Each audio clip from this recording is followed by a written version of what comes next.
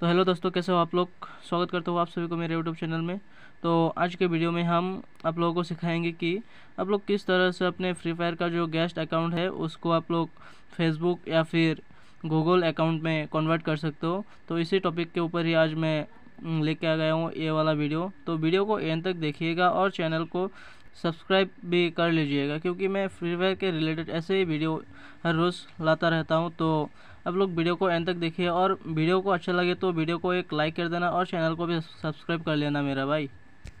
तो चलिए वीडियो को शुरू करते हैं बिना किसी देरी के।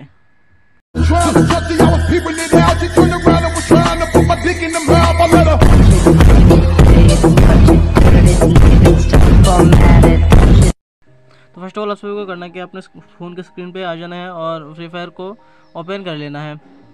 ओपन करने के बाद अब सभी लोग अपना जो गेस्ट अकाउंट है ना, उसे खोल लेना है। तो यहाँ पर मैं अपना गेस्ट अकाउंट खोल लेता हूँ। तब तक एक प्यारा सा कमेंट कर देना और वीडियो को एक लाइक कर देना भाई। तो यहाँ पर मेरा गेस्ट अकाउंट खोल रहा है अभी। तो आप लोग देख सकते हो, यहाँ पर मेरा गेस्ट अकाउंट जो है, वो हो गया एकदम से रेडी अभी इसको कन्वर्ट करने का मारी है। तो यहाँ पर देखिए, मेरे को एकदम गेम पे ले गए। तो मैं यहाँ से निकल जाता हूँ।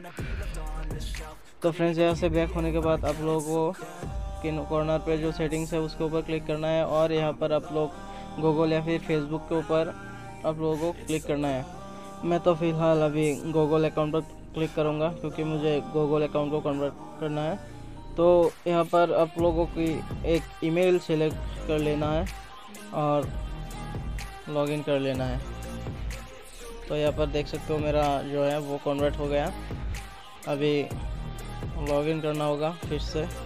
तो लॉगिन करने के बाद आप लोग देख पाओगे कि मेरा जो अकाउंट है वो गूगल अकाउंट में कन्वर्ट हो चुका है अभी। फ्री फायर का जो आईडी आप लोग देख सकते हो कि मेरे को मिल गया पाँच इंक्रोवेटर के वाचर और एक बैकपैक जो गेस्ट अकाउंट को फेसबुक या फिर गूगल अकाउंट पे कॉन्वर्ट करने के बाद मिलता है। तो इसी तरह ही आप लोग भी अपने गेस्ट अकाउंट को फेसबुक या फिर गूगल अकाउंट पे कॉन्वर्ट कर सकते हो। तो आज के वीडियो इतना ही। Tata bye bye